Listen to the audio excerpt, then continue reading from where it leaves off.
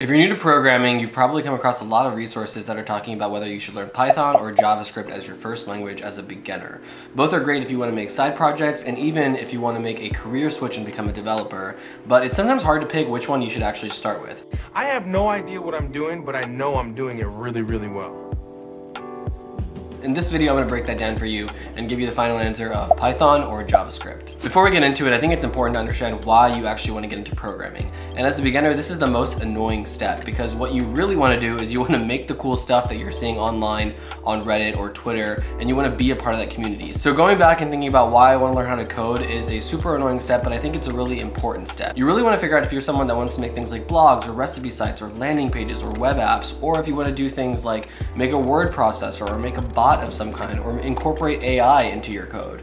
Answering those fundamental questions is really gonna help figure out why you wanna code and therefore influence the language that you should actually start with as you begin your coding journey. And again, these are just a few examples of the things that you can do with code, which is why I think it's really important for you to actually have this conversation with yourself and go through this exercise of figuring out why you wanna code so that you can get an understanding of the things you wanna make and then you can make a decision of what language to actually learn. Also a big thing, this is just the start of your coding journey. A lot of people put a lot of time and energy, me included, into figuring out what language should I learn because it feels like that's like the most important decision that you can have when you're learning how to code. However, it's important to remember that as you continue on in your coding journey, you're gonna pick up lots of different languages to add to your toolkit, and that's exactly what they are. They're tools to help you build something larger. So the first language that you learn is just one tool in that entire toolkit, and that's why it's important just to pick something eventually and not get stuck in the paralysis of analysis and actually start building stuff. That's what's actually gonna make you a good developer is building things. All right, that's enough fluff and enough philosophical talk. Let's actually talk about Python versus JavaScript. So we'll start with JavaScript, and JavaScript is the language of building websites and web apps. That's how I see it. A lot of the websites that you interact with on a daily basis are using JavaScript or a framework that incorporates JavaScript in them. If you were someone that fell into the category of wanting to build websites or web apps or blogs or landing pages or recipe sites or whatever,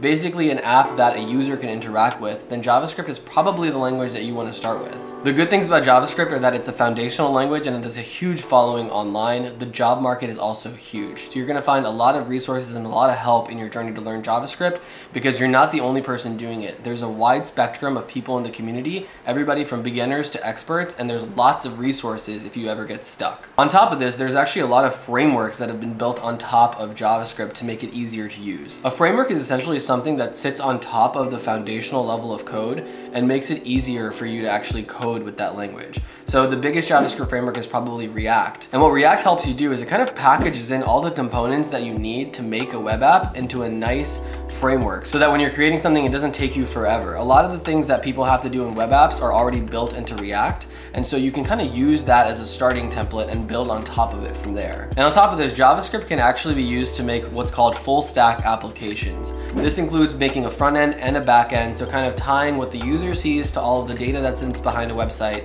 to make a full-fledged web app. And that's really powerful because you can use one language to make an entire web app that you can then deploy to your users. If that's a little overwhelming, that's okay, and it goes way over your head, no worries. I'm gonna link a video down below that talks about front end versus back end so that you kind of have an understanding of the things you can do with JavaScript.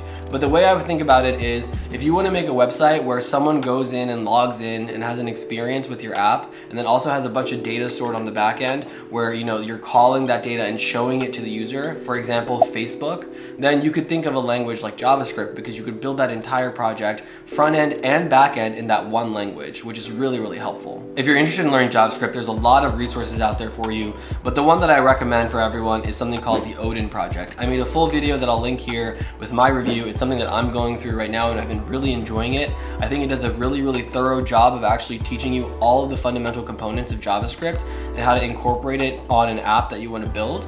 And so if you're looking to get started, I would highly recommend the Odin project. I'm also gonna make another video that's gonna link to a lot of the best resources and tutorials for learning JavaScript. So if that's not already made, it will be made and it'll be linked here as well. So if that's something that you're into, definitely check that out and hopefully it'll help you. So what if you're not into web apps or building things for users to interact with? What if you're you're more interested in backend development or working with the data that sits behind a website and building APIs that people can interact with?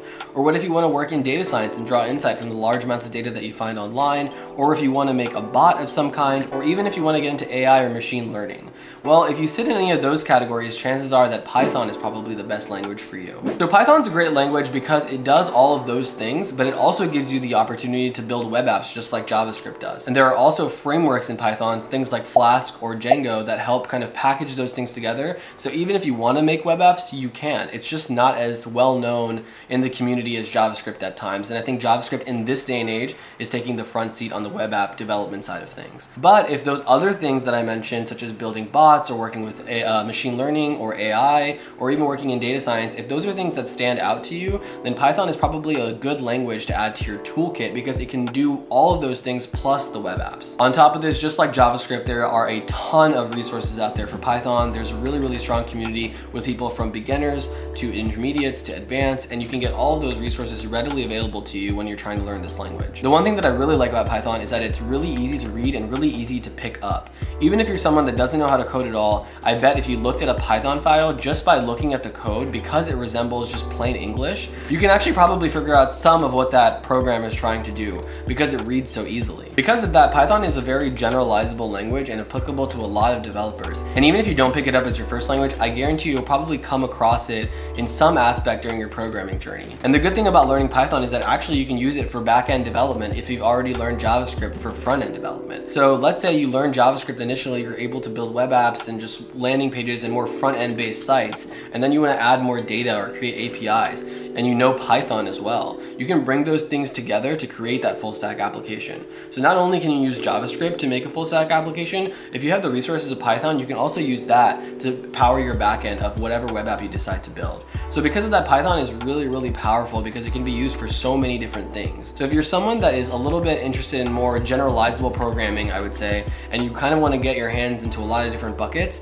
then starting with Python might be the best choice for you. If you're interested in learning more about Python and some of the best resources to learn the language, I'm gonna link a video here that I've made that's gonna talk a little bit about all the resources that I found to learn Python. Personally, I'm focusing on it more from a data science perspective because I'm using JavaScript to learn more web app based things. So that's gonna be a lot of the resources that I present in this video. But even if you're trying to just start out and get a basis and a foundation of what to use Python for and how to learn it, I'm gonna have some great resources in this video, so definitely check it out. So that brings us to the question, which is the best programming language between Python and JavaScript? And I know that you probably got to this point of the video and you're thinking, man, I'm still a little bit confused. I still don't know, and I really wish that this person would just give me a clear answer. And as much as I wanna give you a clear answer, I think the real answer is it depends. And the reason it depends is like I said at the beginning, it really depends on why you want to get into programming and what are the types of things that you want to build. If you want to build more web apps and websites and things like user interfaces where people can come in and interact with your app, then JavaScript is probably the best starting point in your coding journey. However, if you're interested in more database things like data science or building bots or getting into machine learning or